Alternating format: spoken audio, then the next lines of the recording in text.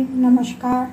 आज मैं बनाने जा रही हूँ कद्दू की सब्ज़ी, जो है वो खाने में बहुत ही स्वादिष्ट लगती है और मैं उसको एकदम सिंपल तरीके से बनाऊँगी। अब मैं इसको पहले इसको काट लेती हूँ। अब इसको हम पहले काट लेते हैं।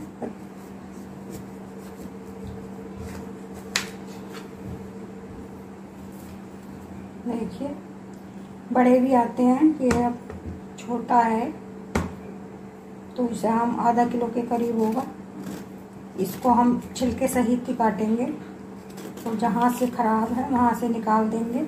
ये मैंने धो के साफ़ करके अच्छी तरीके से रख लिया है।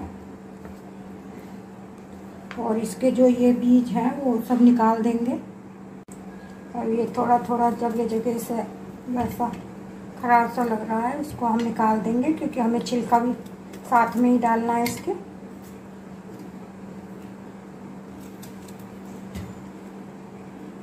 जहाँ से भी ये दबा सा है, वहाँ से ही निकालेंगे इसको।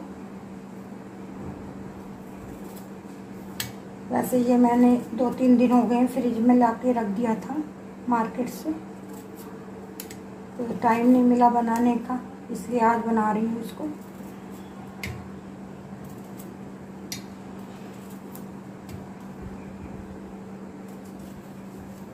बस इसका हम छिलका ऐसे ही रखेंगे। तो हम ले लेते हैं थाली। अब इसमें हम इसको पहले काट लेते हैं।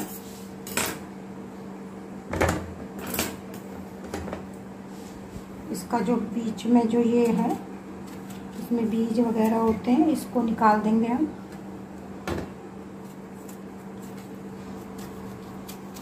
यकीन मानिए, ये जो सब्ज़ी है जो बनाते हैं, ढाबे वाले और जो, उससे भी बहुत ज़्यादा स्वादिष्ट बनती है। मैं तो अपने तरीके से ही बनाऊँगी और आपको भी दिखाऊँगी कैसे बनाती हूँ।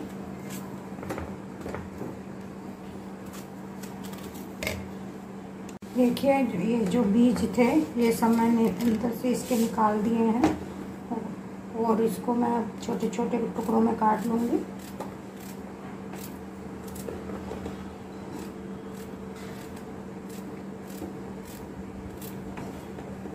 जैसे सब्ज़ी काटते हैं, वैसे ही नॉर्मल है।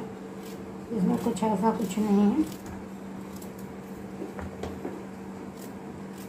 क्योंकि आजकल जो बाहर है, बाहर का खाना है, पता नहीं कैसे बनाते हैं कौन सा तेल यूज़ करते हैं, कुछ कहा नहीं जा सकता।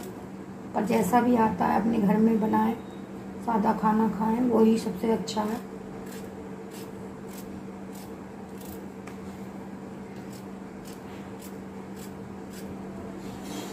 देखिए अब मैंने इसको अच्छे छोटे छोटे टुकड़ों में काट लिया है और छिलका भी नहीं उतारा है। छिलके सहित बनेगा ये, क्योंकि पेठा जो होता है, कद्दू जो की सब्ज़ी जो है, छिलके से ही अच्छी लगती है। चलिए अब हम गैस ऑन करके कढ़ाई रख लेते हैं उसके ऊपर। मैंने कढ़ाई रख ली है और इसको जो मैं बनाऊँगी, इसको मस्टर्ड ऑयल में बनाऊँगी सरसों के तेल में। ये सब्ज़ी जो है सरसों के तेल में ही अच्छी लगती है। तो इसमें मैं डालूँगी, क्योंकि ये तेल में ही बनेगी। इसमें ना पानी पड़ेगा, ना कुछ पड़ेगा। तो अच्छा सा तेल डाल लेंगे हम, दो बड़े चम्मच।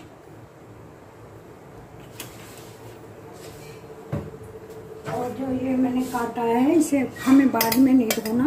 पहले धो के साफ़ करके मैंने ये रख लिया है, काट लिया है। बस इसको ऐसे ही रहने देंगे। अब ये हमारा तेल जो है अच्छी तरीके से पक गया है। कोई भी सब्ज़ी हो तो उसे ना तेल को पहले पका लेना ज़रूरी है, क्योंकि उसकी स्मेल से फिर सब्ज़ी में का जो स्वाद है, अगर पकाओगे नहीं तो बिगड़ जाएगा। तो इसलिए अच्छी तरीके से पका लो पहले। अब इसमें डालेंगे, हम बिना प्याज के ही बनाते हैं इसको। ये प्याज अच्छी भी नहीं लगती इसमें। तो पहले डालेंगे हम आधा चम्मच मेथी दाना। कसूरी मेथी भी डाल सकते हैं पर मैं मेथी दाना डाल रही हूँ। और एक चौथाई चम्मच डाल रही हूँ हींग। हींग भी अच्छे से डालना। थोड़ा सा जीरा भी डाल रही हूँ। अब जो है मैं इसमें पहले सारे ही मसाले डाल लेती हूँ, उसके बाद वो डालूँगी। एक चम्मच धनिया पाउडर, आधा चम्मच हल्दी, थोड़ा गरम मसाला और कश्मीरी लाल मिर्च। और मैं इसको सारे को डाल देती हूँ इसे कद्दू को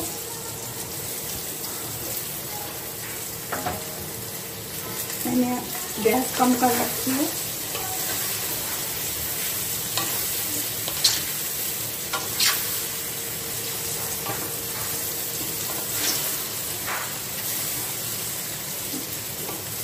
ये जो हमारी सब्ज़ियाँ तेल अच्छा होना चाहिए इसमें।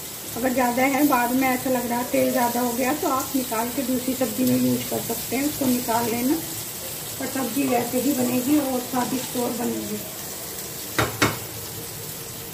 और अभी मेरे इसमें डालना है मुझे नमक।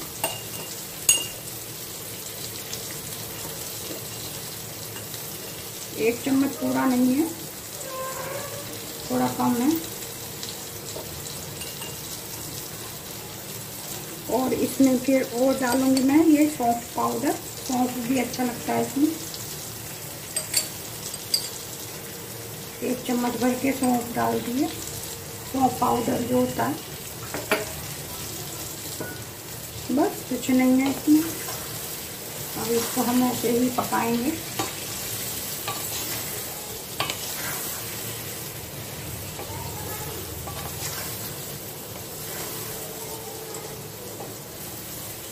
एक दो चीज़ है, वो हम बाद में डालेंगे जब ये पक जाएगा अच्छे से। अब इसे हम तेल में ही पकाएँगे। अगर हम तेल कम डालेंगे और पानी डाल दिया तो ये बेकार हो जाएगा। पानी नहीं डालना इसमें।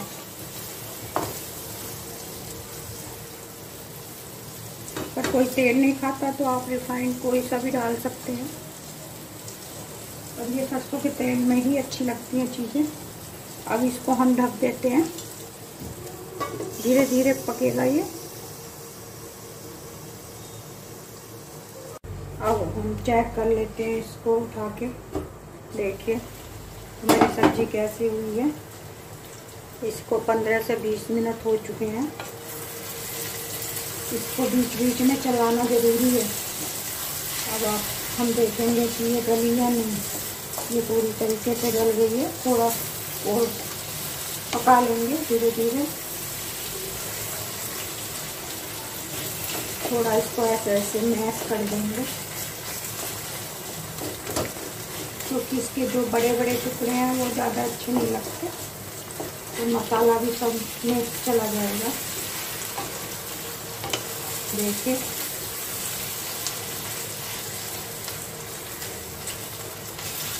तो भंडारे के जो जाके हम खाते हैं। वो इससे भी कहीं गुना ज़्यादा जो है टेस्ट की सब्ज़ी बन के तैयार हो जाएगी हमारी घर में। देखिए, अभी हमें दो चीज़ें और इसमें ऐड करनी है। एक तो हमें अब पहले मैंने नमक डाला था इसमें और अब मैं डाल रही हूँ इसमें गुड़, क्योंकि खट्टा मीठा अच्छा लगता है। ये ये गुड़ जो है मैंने थोड़ा छोटे छोटे टुकड़ों में काट लिया था।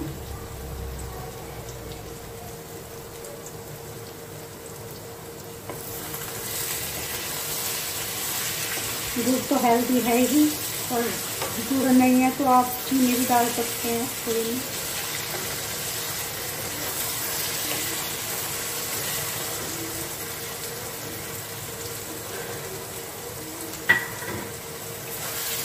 में भी हम अच्छी तरीके से इसमें मिक्स कर देंगे और फिर इससे ढक के इसको छोड़ेंगे चार पाँच मिनट के लिए।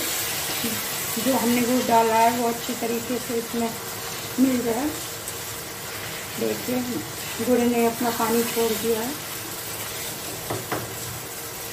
और इसके बाद हम डालेंगे थोड़ा अच्छा स्वाद बनाने के लिए इसमें डालेंगे आधी चम्मच अमचूर पाउडर। ये भी बहुत ज़रूरी है इसमें। जिससे खट्टा मीठा अच्छी जो सब्ज़ी हमारी बहुत अच्छी टेस्ट की बन के तैयार हो जाएगी। आपको देखने से भी लग रहा होगा। एकदम इसने रंग ही बदल दिया है अपना। देखिए, अब इसको हम और थोड़ा सा पका लेते हैं, जिससे ये गुड़ जो है, गुड़ का पानी जो निकला है, ये पानी सोख ले अब इसको हम ऐसे छोड़ देते हैं थोड़ा। देखिए, हम देख लेते हैं। बस हमारी सब्ज़ी ये तैयार हो गई है। देखिए, तेल भी अलग छोड़ दिया है सब्ज़ी में और इसका कलर ही चेंज हो गया है। क्योंकि हमने इसमें गुड़ डाला है, गुड़ और अमचूर जो डाला है, इससे इसका जो है कलर डार्क हो गया है। अब ये हमारी सब्ज़ी बिल्कुल बन के तैयार है। चलिए, अब हम इसको सर्व कर लेते हैं।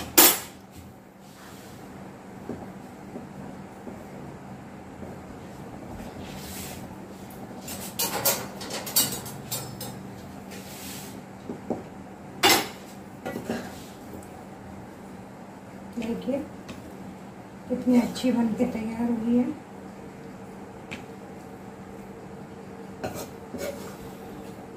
जैसे मैंने बनाई है, ऐसे ही आप बना के देखना, बहुत ही टेस्टी लगती है। मैं तो आपको अपने सामने ही जो भी बना रही हूँ, सब सर्व करके दिखा रही हूँ, बना रही हूँ। आपको अगर मेरी ये रेसिपी अच्छी लगती हो तो प्लीज़ मेरे चैनल को सब्सक्राइब ज़रूर कर दिया कीजिए।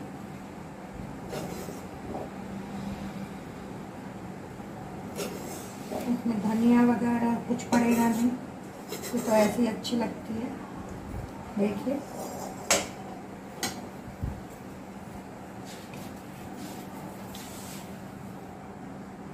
सब्ज़ी को बनाने में मुझे जो है 20 से 25 मिनट लगा है। इसको दो से तीन बार आपको चेक करना पड़ेगा धीरे धीरे बनेगी ये। ढक के छोड़ देना इसको।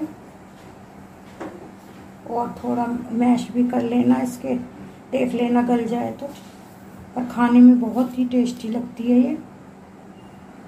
अगर आपको मेरी ये रेसिपी अच्छी लगी हो तो प्लीज़ लाइक शेयर और मेरे चैनल को सब्सक्राइब ज़रूर किया कीजिए। और एक नई रेसिपी के जय श्री राम। नमस्कार।